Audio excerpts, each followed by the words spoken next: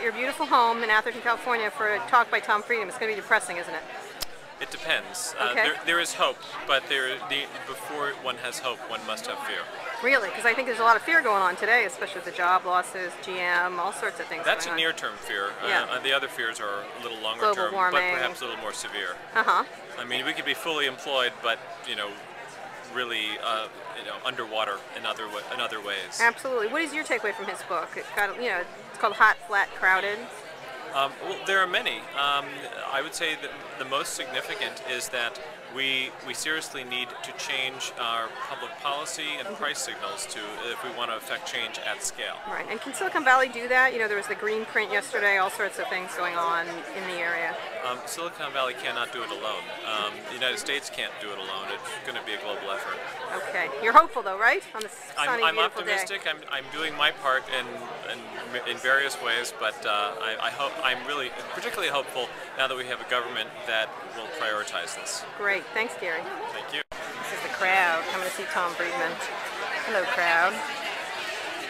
It's hot, flat, and crowded here today. I just like saying that over and over again. I shouldn't, because it's a really depressing idea. As high a turnout rate of people accepting our invitations. Um, and so I'm, I'm sure it was because they were expecting lots of food and drink. I'm sorry, there's only water. No, in, the, in reality, it's Tom. Um, we can never get enough of him, and uh, we're really honored to have him today. Tom Friedman, what are you going to talk about today? I'm talk hot, about- flat, and crowded. I'm going to talk about my latest thinking on Hot, Flat, and Crowded. All right. Basically, try to uh, lay out an argument for um, where we're going right now in the new Obama administration. Uh huh. And where do you think that is? Briefly. Um, you know, I think they're off to a good start, but Uh-huh. uh, got to have a price signal. Without a price on carbon, clear, Right. long-term, fixed, and durable, it's not going to happen. and how does the economic crisis, which got worse, even worse today, and seems to be going downward, affect all this? Well, obviously, it makes putting that price, you know, on more difficult, but I think Uh-huh. also more necessary because how are we going to pay for all this? stuff? right. Absolutely. At some point, we have to pay for it, and we need to pay for it in a way that will also, I think, drive a green economy and drive new industry. And I think tax shifting, Mm-hmm. putting a tax on carbon and lowering payroll taxes, I think is the smartest way to do And, it. and can Silicon Valley do this, or does it have to come from where? 'Cause I'm a big believer. hot on it. I'm a believer in innovation, not regulation. So Right. I think ultimately it's an innovation problem. And it's not gonna- just a trendy thing with Silicon Valley, you don't think? no, it's, it's got a. This is a job for engineers and scientists. Great. Thank you, Tom. I can't Thanks, wait to hear Kara. you. Thanks. Appreciate it. we had lost our groove as a country. And um, this book was actually written uh, as a strategy for how we get our groove back. And for me, energy and environment was really just an allegory of the next great problem out there. And the argument of the book was that we really can't, I think, lead the world unless we lead the world in solving the next great set of problems.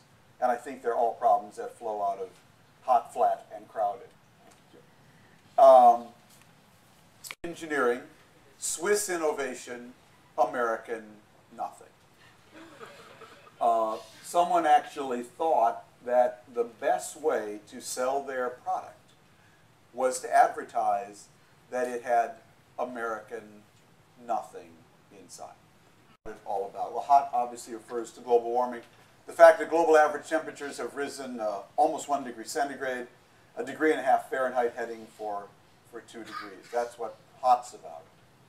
And I know what you're thinking. Uh, you mean all this Al Gore stuff? All this Al Gore stuff is about just two, two degrees Fahrenheit? That's right, it is because the global climate system is actually a lot like your body. If your body temperature goes from 98.6 to 100.6, you, you don't feel so good. If it goes from 100.6 to 102.6, you call the doctor. And if it goes from 102.6 to 104.6, you go to the hospital. We're having global warming here. You know, to a kid from Minnesota, eh, global warming sounds like golf in February. Okay, all right.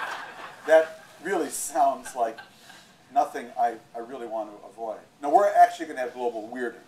What actually happens when the climate changes is that the weather gets weird.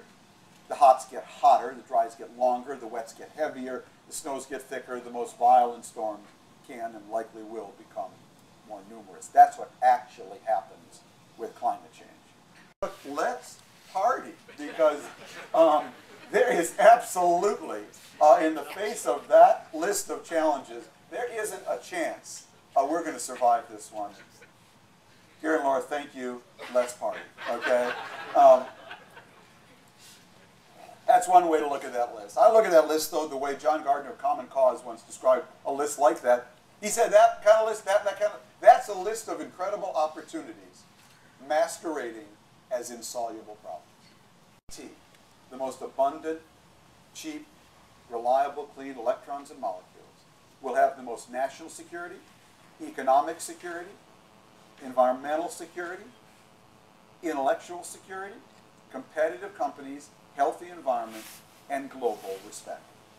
That country must be the United States of America. I mean, speaking to this audience, you know, I can say this categorically. You know, I, I, covered the IT revolution and wrote about it in The World is Flat. So many of you participated in it. And there was just, correct me if I'm wrong, one rule in the IT revolution change or die, adapt or die. It, it was not change your brand or die. It wasn't somebody give me a green racing stripe for my stationery or die. No, it was change or die. There's a whole group of IT companies that aren't with us anymore.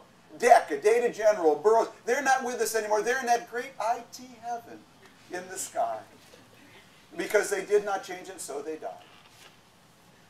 You'll know the green revolution is here when you have to change or die.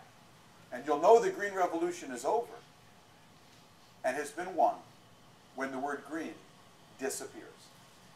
Focus is really how do we stimulate an ecosystem that will generate 10,000 green garages with 10,000 green innovators trying 10,000 things, a thousand of which will be promising, a hundred of which will be way cool, and two of which will be the next green Google and green Microsoft.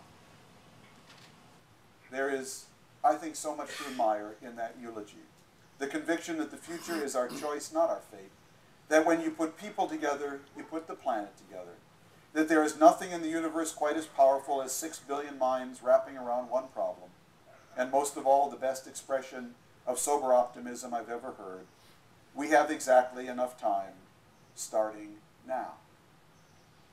Friends, we need to redefine green and I think rediscover America. And in doing so, I think rediscover ourselves and what it means to be Americans. We are all pilgrims again. We are all sailing on the Mayflower anew. We have not been to this shore before.